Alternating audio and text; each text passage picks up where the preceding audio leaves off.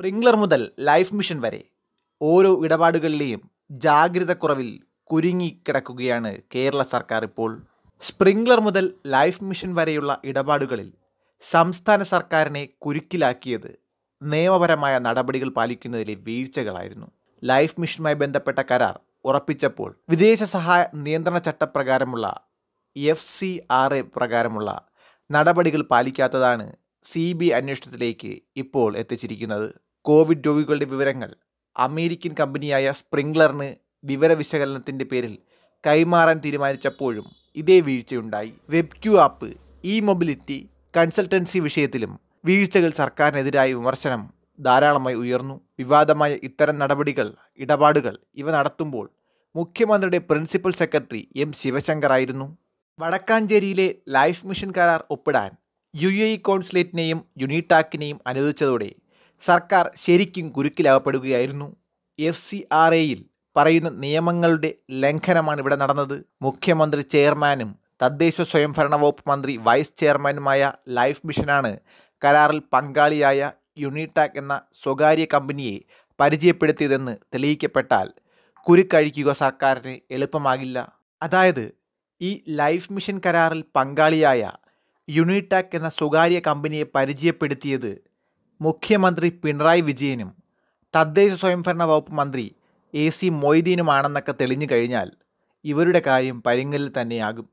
F C R A നിയമലംഘനത്തോടൊപ്പം ഗൂഢാലോചന എന്ന കുറ്റവും കൂടി സി ബി ഐ ചുമത്തിയിരിക്കുന്നത് ഇതിനാലാണ്. അതായത് ലൈഫ് മിഷനാണ് കരാറിൽ പങ്കാളിയായ യുണിടാക് എന്ന സ്വകാര്യ കമ്പനിയെ പരിചയപ്പെടുത്തുന്നത് തെളിയിക്കപ്പെട്ടാൽ ഇനി എന്തായാലും സർക്കാരിന് കുരുക്കഴിക്കുക എളുപ്പമാകില്ല.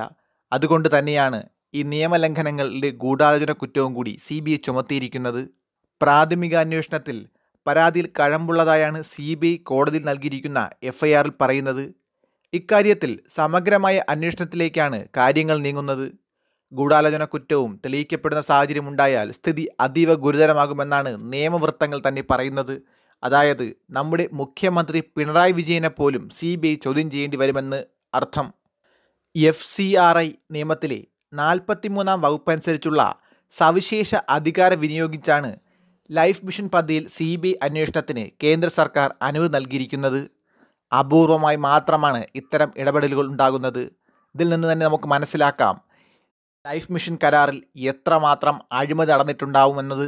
നമുക്ക് തന്നെ അറിയാം അനിലക്കരെ എന്ന് പറയുന്ന എം എൽ എ ഒരു കോടി ചില്ലറ രൂപയുടെ അഴിമതി നടന്നു എന്ന് പറഞ്ഞപ്പോൾ മുഖ്യമന്ത്രിയുടെ തന്നെ മാധ്യമോപദേഷ്ടകൻ വന്നിട്ടാണ് പറഞ്ഞത് ഒരു കോടിയുടെ അഴിമതിയല്ല നാലര കോടിയുടെ അഴിമതി നടന്നു എന്ന് പറഞ്ഞതും കമ്മീഷൻ പറ്റിയെന്നൊക്കെ പറഞ്ഞത്. തുടർന്ന് ഇതിനെ പിന്തുണച്ചുകൊണ്ട് നമ്മുടെ ധനകാര്യ മന്ത്രിയായ തോമസ് ഐസക്കുമൊക്കെ പിന്തുണച്ച് വന്ന കാര്യങ്ങളൊക്കെ നമുക്കറിയാം. എന്നാൽ സി ബി ഐ അന്വേഷണത്തിനെതിരെ ചില സൈബർ സഖാക്കളൊക്കെ പറയുന്നു ഇതൊക്കെ രാഷ്ട്രീയ ലക്ഷ്യത്തോടെയാണെന്ന്. എന്നാൽ ഈ സൈബർ സഹാക്കളൊക്കെ ഒന്ന് അറിഞ്ഞിരിക്കുക ഇതൊന്നും രാഷ്ട്രീയ ലക്ഷ്യത്തോടെ അല്ല എന്ന കാര്യം ഇനിയെങ്കിലും പാർട്ടി ക്ലാസുകളിൽ സൈബർ സഹാക്കൾക്കൊക്കെ ഒന്ന് പറഞ്ഞു കൊടുക്കുന്നത് നന്നായിരിക്കും. എന്തെന്നാൽ രാഷ്ട്രീയ ലക്ഷ്യത്തോടെയാണ് സി ബി അന്വേഷണമെന്ന വിമർശനം പോലും ഉന്നയിക്കാൻ കഴിയാത്ത വിധമാണ് സർക്കാരിന്റെ ഭാഗത്തുനിന്നുണ്ടായ നിയമപരമായ വീഴ്ച. News desk Tatwamayi news.